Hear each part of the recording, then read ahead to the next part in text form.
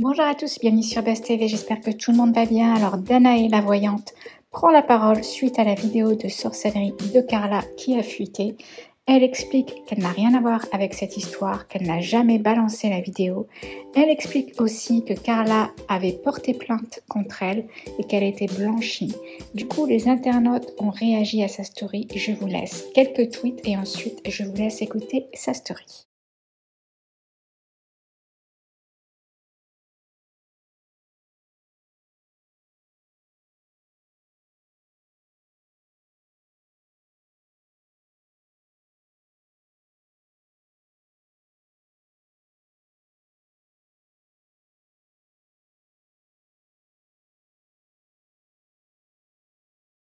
Coucou à tous, donc je reviens par rapport à, toutes ces histoires là qui commencent vraiment à me, gonfler, euh, que je vois sur les réseaux sociaux donc depuis hier.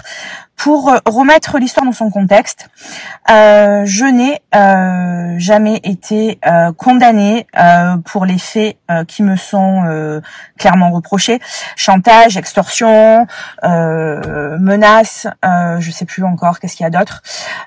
clairement, j'ai été blanchie Hein, euh, au niveau de la justice. La justice a bien, fait son travail, tout en sachant qu'il y a deux ans, mon téléphone a été euh, réquisitionné par les forces de l'ordre et euh, ce téléphone a démontré que je n'ai jamais fait de chantage, de menaces, d'extorsion. Ça, c'est le premier point dont je voulais vous parler. Secondement, les vidéos, je ne les ai jamais moi-même sorties et je ne les ai données à personne. Ces vidéos, mon téléphone a été volé et euh, ces vidéos m'ont été volées euh, par le biais d'une tierce personne. Donc je reviens par rapport à ces fameuses vidéos. Donc ces vidéos m'ont été volées à travers mon téléphone par le biais d'une tierce personne. Cette tierce personne s'est fait un malin plaisir de les envoyer à tous les blogueurs de la terre euh, que voilà qui, qui se passe. Euh, et ces blogueurs ont reçu effectivement euh, les données de mon téléphone. Je n'aurais jamais moi-même divulgué quoi que ce soit. Je suis tenue au secret professionnel et je n'aurais jamais, jamais, jamais donné et vendu ou quoi que ce soit des vidéos concernant mes clients que ce soit euh, euh, n'importe quel client, je n'aurais jamais fait ça. Voilà, ça il faut vraiment se mettre dans la tête et c'est une question de logique.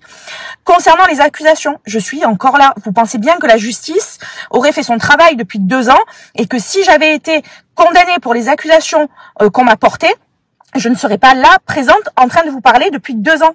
Et ça, c'est logique, ça, il faut se le mettre dans la tête, les gars. D'accord euh, Voilà, quoi dire de plus? Moi, tout ça, c'est derrière moi.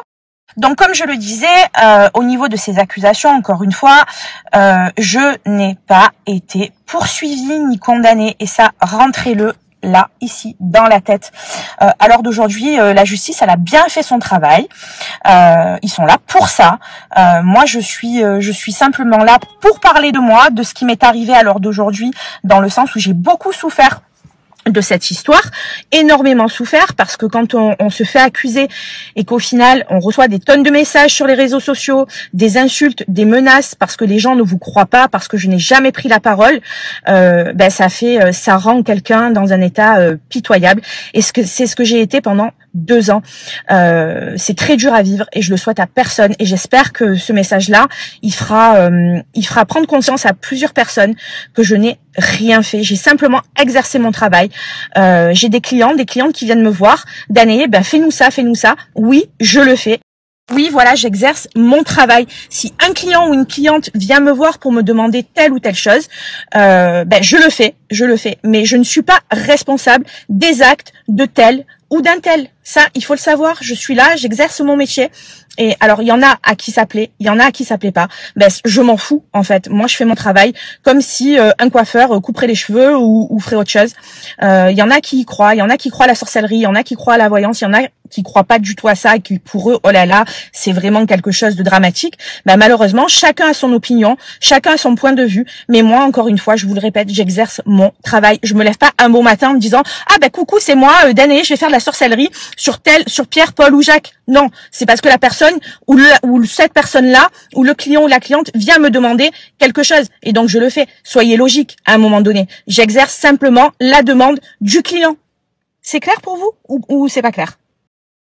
Donc pour, pour clore le sujet, euh, je ne reviendrai pas là-dessus. Euh, maintenant, chacun pense et fait ce qu'il veut. J'ai ma vie, chacun a sa vie. Je n'en veux à personne, je ne veux de mal à personne. Encore une fois, euh, j'ai le cours de ma vie qui est là et qui est bien défini. J'ai les pieds dans, dans mes baskets, comme on dit. J'ai et j'ai une vie. voilà, j'ai ma vie. Je suis maman, j'ai des enfants. Je souhaite qu'on me laisse tranquille avec cette histoire, comme n'importe quelle personne le demanderait. Euh, je prendrai peut-être la parole euh, prochainement également euh, sur mon histoire, sur ce que moi j'ai vécu, sur la souffrance que j'ai eue, mes proches, le soutien de mes proches. Et ça, par contre, ça m'est ça m'est personnel, mais je ne reviendrai pas sur la polémique. Je m'en fous. C'est derrière moi, c'est du passé. Je ne veux plus revenir sur ça. Comprenez-le et mettez ça dans votre crâne. Voilà. Passez une bonne journée.